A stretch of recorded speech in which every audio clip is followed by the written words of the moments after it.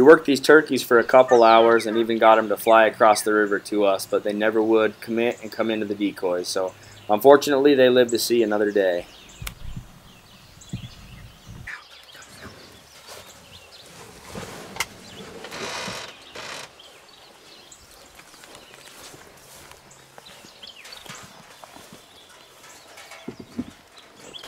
Alright, we got a 50 cal Air Force here. Now we got a pig right across the lake.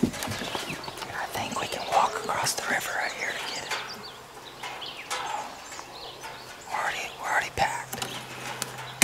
Dan's gonna take his first pig with an air rifle.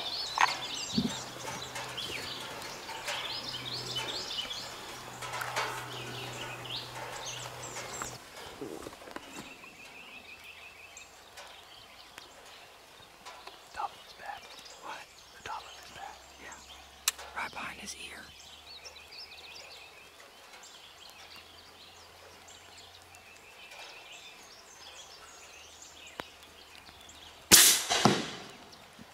Smoked him. And this, this is the coolest Dude, you could see the bullet. You could see the bullet. Hey, first pig down so- with an air gun.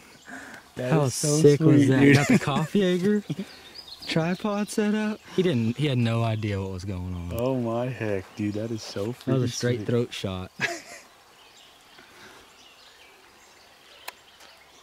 Done, dude. That's straight neck. Straight neck.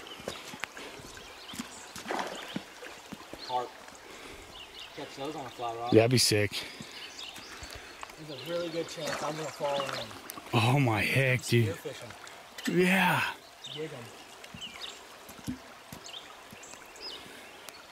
This place is crazy.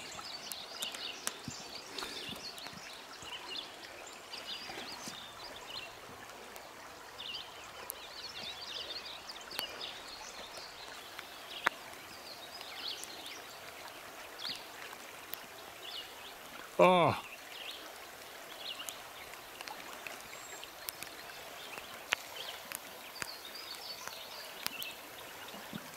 What, what was wrong with that pig? I don't know what happened to him, but like back legs or something. Like, you guys have alligators in these rivers or what? I don't think so, but one of his back legs was completely gone and like turtles have been eating on his leg for days. Yeah. Like all white. He was all man scrawny. He been, must have been. I bet he's probably laying there for a week. You know, So he definitely did him a favor. yeah. So anyway, Zero meat on that pig. poor guy. But glad we got it done. Help him out there. Pretty much what we did. We're headed back to the house. Breakfast time. Well, folks, we switched plans. We switched places.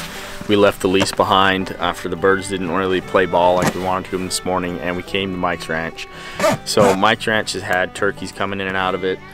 Uh, they've been on the property over here next door and kind of been circling through. So we're gonna go see if we can't get on some birds here. Check the trail camera, and there was a bird this morning, Big Tom, that hit a camera over here. So go see if we can't get him roused up, gobbling, and get a chance at him, and spend some time on this end of the world. But adapt, overcome. What you gotta do when you're turkey hunting. And if it gets too hard, Walmart, butterball, cook one up that way.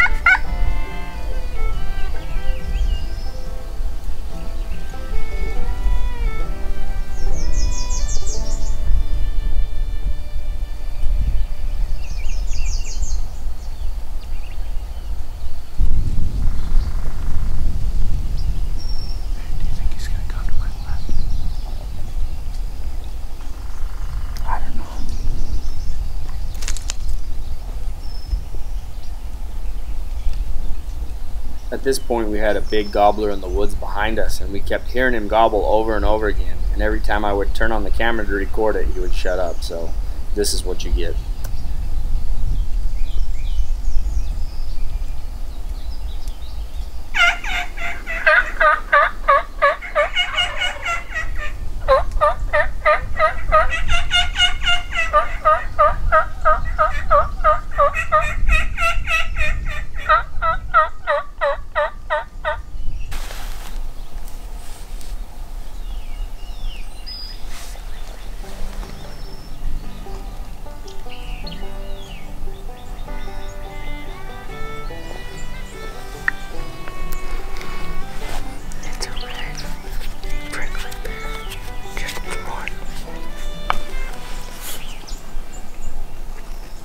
We had a pretty tough trip. Weather was bad. Turkeys didn't talk. Ben fished. Caught some giants. Kevin hiked a lot and called a lot, but we never ended up getting it down on a bird at Mike's Ranch. But as the saying goes, time spent with good friends is never wasted. And we had one heck of a fun trip. Thanks for watching.